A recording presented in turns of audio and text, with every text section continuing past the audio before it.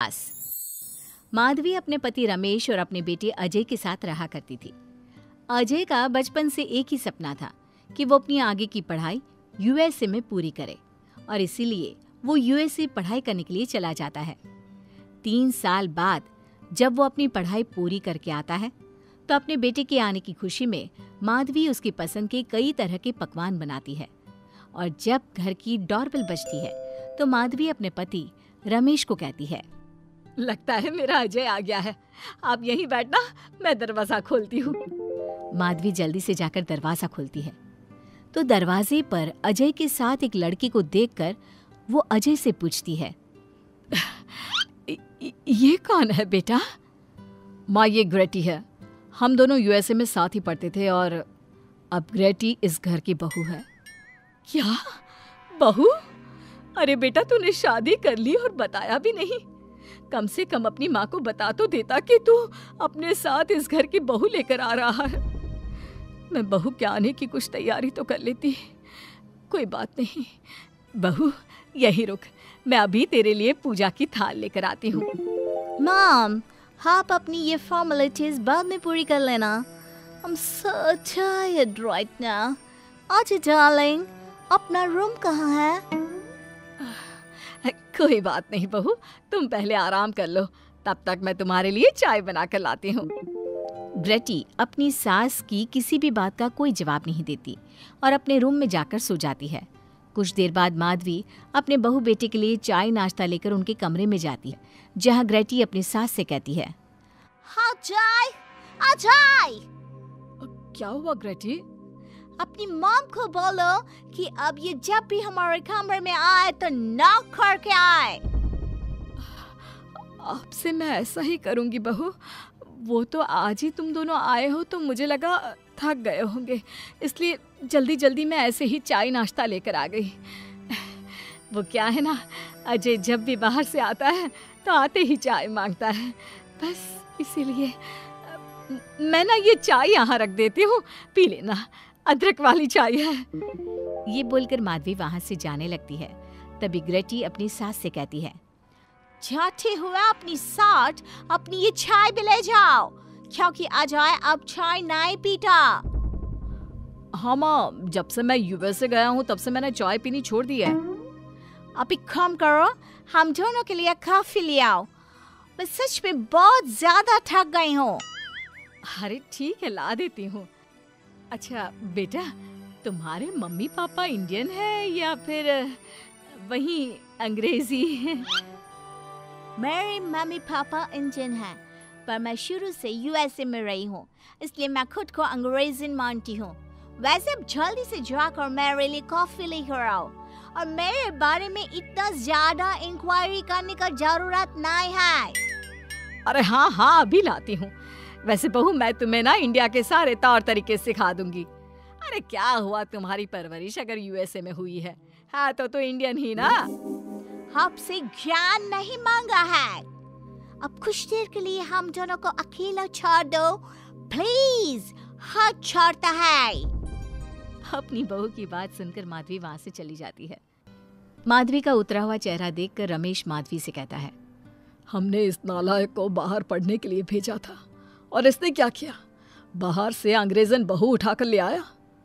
माधवी, तुम बहुत भोली हो, पर मैं नहीं। ये लड़की हमारा घर तोड़ देगी, हमसे हमारे अजय को दूर कर देगी। देखा, आते ही कैसे रोब झाड़ रही है। जैसे तुम इस घर की नौकरानी हो। तुम उसको बोलो कि तुम इस घर की मालकिन हो और उसकी सास हो। वो वही करे जो तुम कहोगी। अरे, आप बेकार में ही गुस्सा हो रहे हैं। बहू यूएसए की है, यहाँ नई नई आई है। उसको यहाँ के तौर तरीके नहीं पता। और वो मुझे अपनी माँ मानती है, तभी तो अपने नखरे दिखा रही है। वैसे भी ना, बहू बेटी दोनों बराबर होती है। माधवी कौन सी बेटी अपनी माँ से ऐसे बात करती है, जैसे तुम्हारी बहू कर रही है? मैं बस तुम्हारे कहने पर चुप हूँ, वरना मैं अपने बहू बेटों को आज ही घर से निकाल देता। ये कहकर रमेश वहाँ से चला जाता है। ऐसे ही कुछ दिन बीत जाते हैं। और ग्रेटी अपनी बेचारी भोली भाली सास पर अत्याचार करती रहती है। ग्रेटी अपना सारा काम अपनी सास से करवाती और उसी को भला बुरा सुनाती। ऐसे ही एक दिन माधवी कपड़े धो रही होती है और ग्रेटी माधवी को सताने के लिए अपने सारे कपड़े लाकर उसे देती है और कहती है, मॉम्स, ये मेरे कुछ कपड़े हैं, जरा इन्हें भी धो दो। इतना बोलकर ग्रेटी तैयार होकर घर से जाने लगती है। तभी माधवी उससे कहती है, बहू आज तुम्हारे ससुर के दोस्त के घर में एक छोटी सी पार्टी है। उन्होंने सह परिवार बुलाया है। मैं चाहती हूँ कि तुम और अजय भी आज हमारे साथ वहाँ चलो। और आज ना साड़ी पहनना। मॉम अभी मैं क्लब जा रही हूँ। रात को मुझे टाइम मिलेगा तो आपके साथ चली जाऊँगी पर सारी बारी नहीं पहनूँगी। ये कहकर ग्रेटी वहाँ से चली जाती है। शाम हो जाती है। सब ग्रेटी के घर आने का इंतज़ार करते हैं। और इस वजह से कोई भी पार्टी में नहीं जा पाता। इंतज़ार करते करते रात के बारह बज जाते हैं। बारह बजे रात को ग्रेटी नशे की हालत में जख्मी घर आती है। अपनी बहू के सर और हाथ पर लगी चोट देखकर माधवी परेशान हो जाती है और जल्दी से फ़र्स्ट एड का बॉक्स लाकर अपने बहू के सर पर पट्टी करती है। एक माँ की तरह प्यार करते हुए वो अपनी बहू से कहती है, बहू, तुझे चोट कैसे लग गई बेटा? मैं घर आ रही थी। एक बाइक वाले से मेरी चक्कर हो गई। कोई बात नहीं बेटा, कल सुबह होते ही तुझे अपने फैमिली डॉक्टर के पास ले जाऊँगी। अच्छा अब तू ना आराम कर, मैं तेरे लिए अभी हल्दी वाला दूध लेकर आती हूँ। माधवी, मैंने तुम्हें पहले ही समझाया था, ये अंग्रेजन हमारे घर के लिए ठीक नहीं है, पर तुमने मेरी एक नहीं मानी। अब देख लो, आज इस अंग्रेजन बहू की वजह से सारे मोहल्ले में हमारी नाक कट गई है। आज सब हम पर हँसते हैं। और ये सब कुछ तुम्हारी वजह से हुआ है। तुम्हारी छूट की वजह से हुआ है। ये कहकर रमेश अपने रूम में चला जाता है। पर माधवी अपनी बहू की पट्टी करके उसे उसके कमरे में जाकर सुला देती है। अगले दिन माधवी ग्रेटी को लेकर अपने फैमिली डॉक्टर के पास जाती है, जहाँ ग्रेटी देखती है कि उस डॉक्टर की बहू ने साड़ी पहनी है और एक संस्कारी बहू की तरह घर में पूजा पाठ करके अपने सास ससुर के पैर छूकर उनका सुबह सुबह आशीर्वाद लेती है। डॉक्टर की बहू को देखकर ग्रेटी को अपना बर्ताव याद आता है और उसे एहसास होता है कि वो अपनी भोली और मासूम सास के ऊपर कितना अत्याचार करती है, पर फिर भी माधवी सबसे लड़कर हमेशा उसका साथ देती है। ये सब देखकर ग्रेटी को पश्चाताप होता है और कुछ देर बाद वो दोनों दवाई लेकर घर आती है। जब माधवी ग्रेटी को दवाई खिलाने के लिए उसके पास जाती है तो मॉम मुझे माफ़ कर दीजिए। मैंने कभी भी आपके प्यार को नहीं समझा। आप पर इतना अत्याचार किया। आपकी बेइज्जती की, आपसे घर का सारा काम करवाया। आपने मुझे कितनी छूट दी, पर फिर भी मैं आपके साथ इतना बुरा करती थी।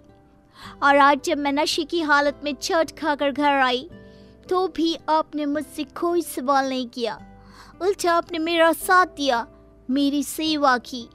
आज जब मैंने डॉक्टर की बहू को देखा घर का काम करते हुए, अपने सास ससुर की सेवा करते हुए, तब जाकर मुझे एहसास हुआ कि मैं कितनी रॉन्ग थी।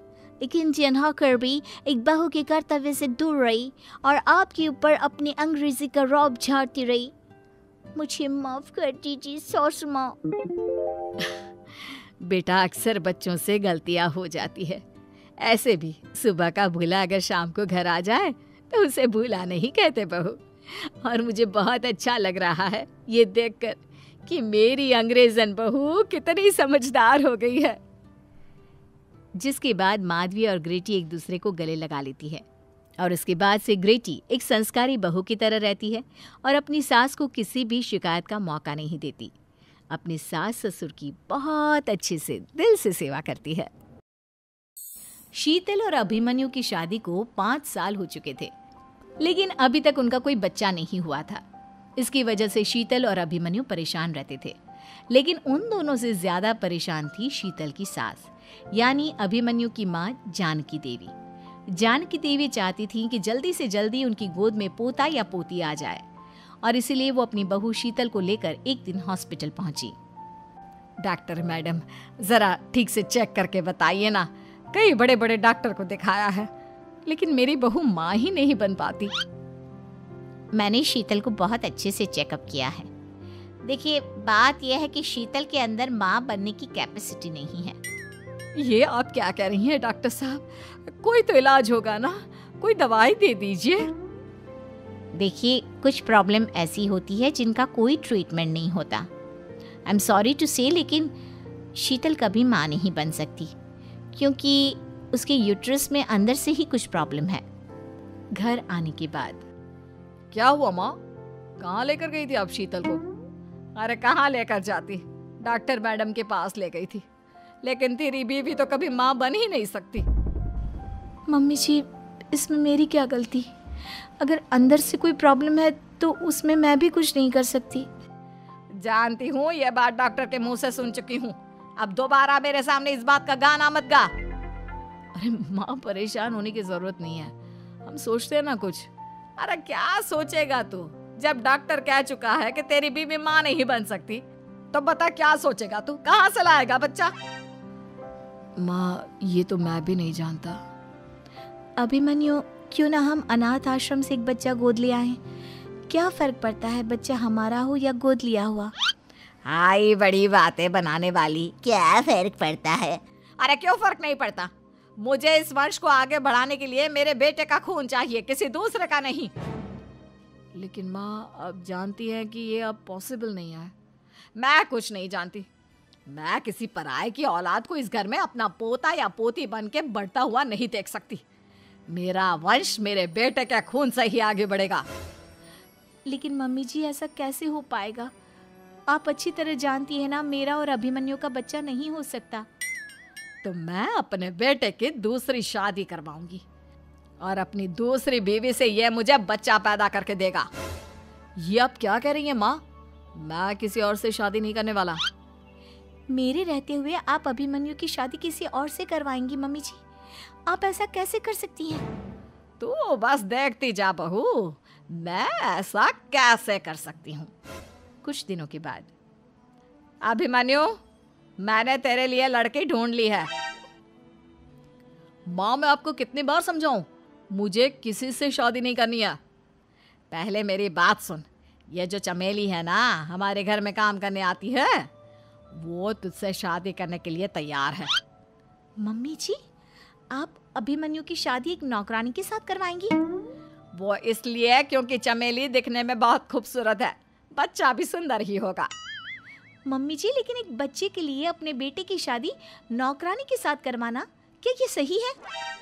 अगर अभिमन्यु ने शादी नहीं की ना तो मैं अपनी जान दे दूँगी। अब देख लो अगर तुम्हें अपनी माँ की जान प्यारी है तो तुम्हें इस नौकरानी के साथ शादी करनी ही होगी। इस तरह जान की देवी अपने बेटे अभिमन्यु की शादी नौकरानी चमेली के साथ करवा देती है कुछ दिनों के बाद।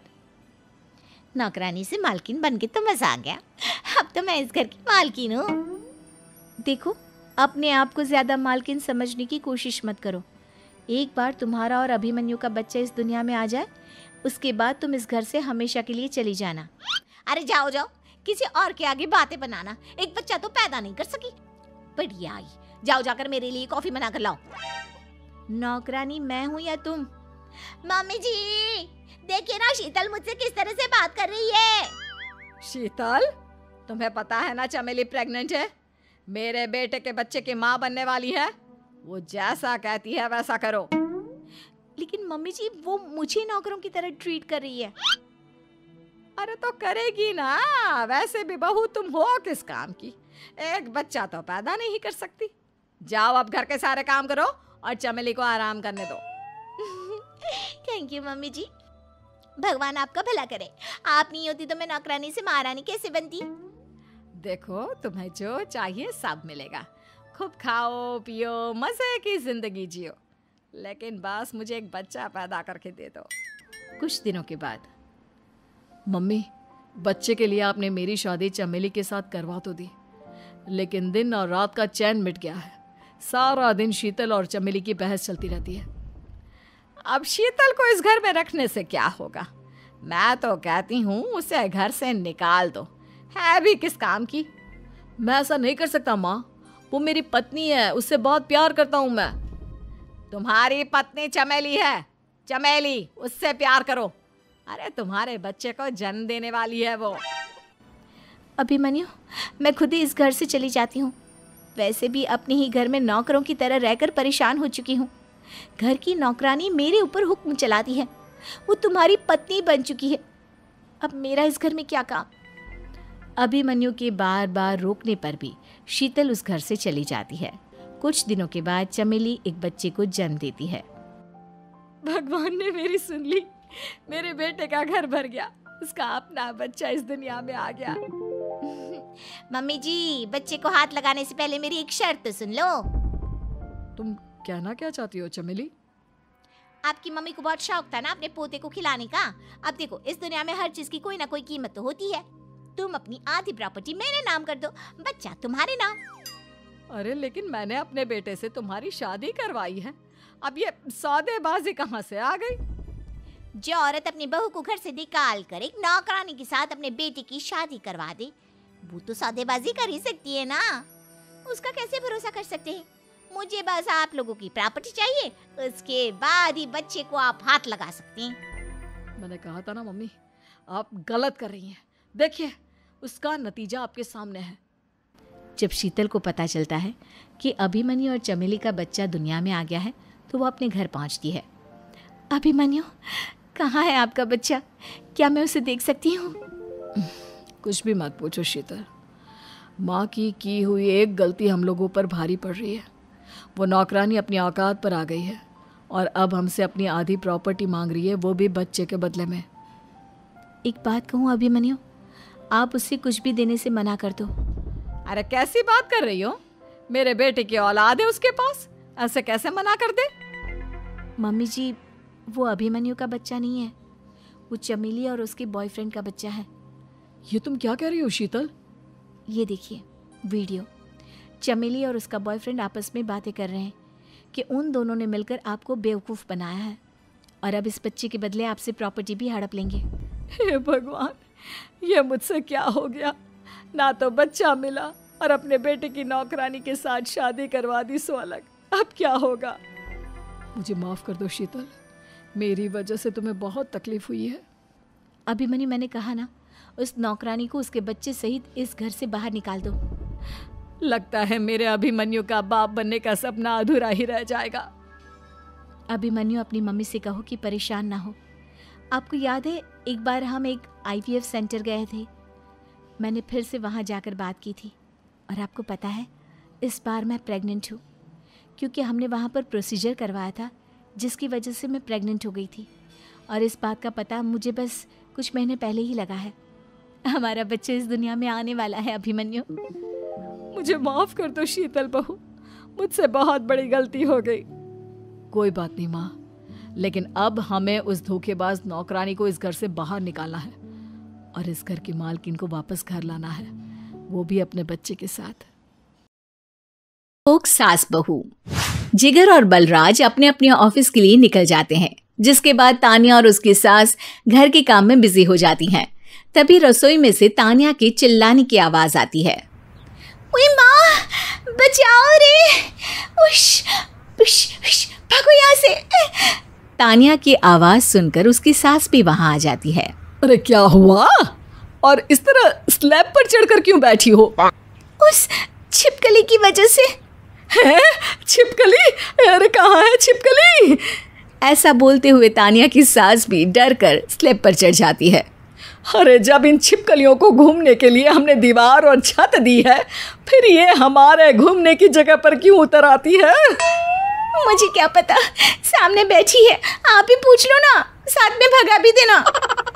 इस पर सास डरते हुए स्लैब पर बैठी बैठी ही छिपकली को भगाने की कोशिश करती है। हुश हुश हुश अरे जा अरे जा ना वापस अपने घर जा। सासुमा छिपकली है कुत्ता नहीं। अरे हाँ हाँ छोटी सी ही सही छिपकली तो है। आ, तो तुम ही भगा दो ना। तानिया की सास उसे स्लैब से नीचे गिरा देती है जिस पर छिपकली तो डरकर भाग जाती है लेकिन दोनों सास बहू के बीच टॉम एंड जेरी वाला खेल शुरू हो जाता है। आपने मुझे धक्का क्यों दिया? मुझे कुछ हो जाता तो अगर वो मुझे खा जाती तो। अरे छिपकली थी डायनासोर नहीं। हाँ सिर्फ़ छिपकली ही थी और आपको उससे डर नहीं लगता तो खुद क्यों नहीं भगा दिया? अरे तेरे होते हुए अगर मुझे काम करने पड़े फिर बहू होने का फ़ायदा क्या है? इसी तरह सुबह से शाम हो जाती है। जिगर और बलराज भी ऑफ़िस से घर वापस आ जाते हैं लेकिन सास बहू की तू तू मैं मैं खत्म नहीं होती। हम्म आज इस सभा का मुद्दा क्या है? मम्मी ने मुझे छिपकली के सामने फेंक दिया। अरे वाह मेरे डरपोक। मुझ पर तीस साल से शेरनी जैसे हुक्म चला रही हो और एक छिपकली से डर गई। इस पर दोनों बाप बेटे हंसने लगते हैं जिसे देखकर सास बहू एक दूसरे की शक्ल देखते हुए अब अपनी लड़ाई भूलकर उनसे लड़ना शुरू कर देती हैं। अरे आप ना ज़्यादा बत्तीसी ना दिखाओ नहीं तो शेरनी के एक पंजे से बत्तीस के बत्तीस दांत बाहर निकल आएँगे। अपनी माँ की इस बात पर अब जिगर अपने पापा को देखकर हंसने लगता है। अरे क्यों पापा? आ गया स्वाद। अभी आपको भी आएगा स्वाद।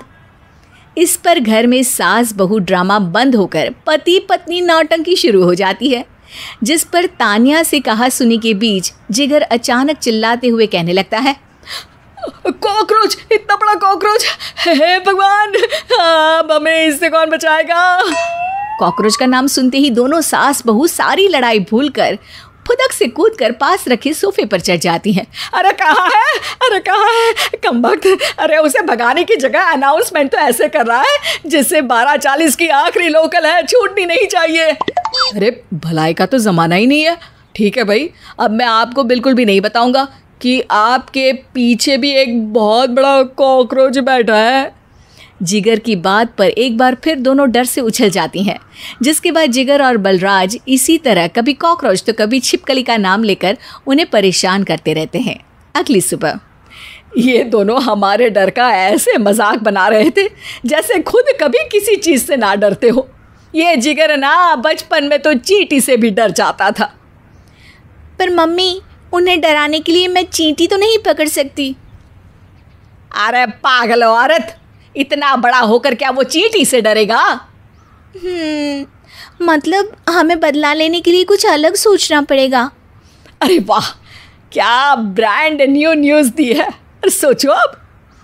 दोनों बहुत देर तक जिगर और बलराज को डराने के लिए अलग अलग तरीके सोचती हैं पर किसी भी अंजाम तक नहीं पहुँच पाती जिस पर तानिया की सास उससे कहती है हम उन्हें नहीं डरा सकते, पर अपना डर तो ख़त्म कर ही सकते हैं ना? अगर हमारा डर खत्म हो जाएगा तो फिर वो अपने मज़े के लिए किसे डराएँगे? और इसी तरह उनका पचका हो जाएगा। हाँ नाइस आइडिया पर मुझे इससे डर क्यों लग रहा है? सास की बातों से डरते हुए भी वो दोनों अपने डर को खत्म करने के मिशन पर लग जाती है। जिसमें पहला कॉकरोच सामने आते ही वो डर कर भाग जाती है। हमसे ना हो पाई। मम्मी इससे आप ही निपटो ना। अरे क्या आप निपटो? आ, साथ चल। नहीं तो तेरे ऊपर ना छिपकली गिरा दूँगी हाँ। बस हाँ पहले छिपकली पकड़ कर तो दिखाओ। अरे यार चल ना। इस पर दोनों भगवान का नाम लेते हुए एक वाइपर लेकर कॉकरोच के पास जाकर डरते डराते उसे भगा देती हैं। जिसके बाद उनमें थोड़ी हिम्मत आती है और वो दिन ब दिन एक एक कर अपने हर डर पर काबू पाने लगती हैं। कुछ हफ्तों बाद वाह मम्मी आइडिया तो मस्त था। अब कॉकरोच हो या उसका बाप। मैं किसी से नहीं डरती। अरे शाबाश! और मैं छिपकली हो या उसका पूरा गैंग सबके छक्के छुड़ा दूँगी। हम्म पर मम्मी जी उससे पहले किसी को सबक सिखाना है। उसी रात जब बलराज और जिगर टीवी देख रहे होते हैं तो दोनों सास बहू प्लान बनाकर छुपके से उन पर नकली छिपकली और कॉकरोच फेंक देती हैं जिसे देखते ही वो दोनों अपनी जगह से उछल खड़े होते हैं। अरे वही माँ छी छी ये छिपकली कहाँ से आ गई? ओह इस कॉकरोच को मेरे ऊपर से हटाओ ना। अरे क्यों बेटे कैसे माँ याद आ गई? जब माँ को डर लग रहा था तब तो बहुत खिल्ली उड़ा रहे थे। ससुर जी कॉकरोच से तो हम जैसे डरपोक डरते हैं। फिर आज आपको क्या हुआ? दोनों हंसने लगती है। जिससे जिगर और बलराज को भी उनकी गलती का एहसास होता है।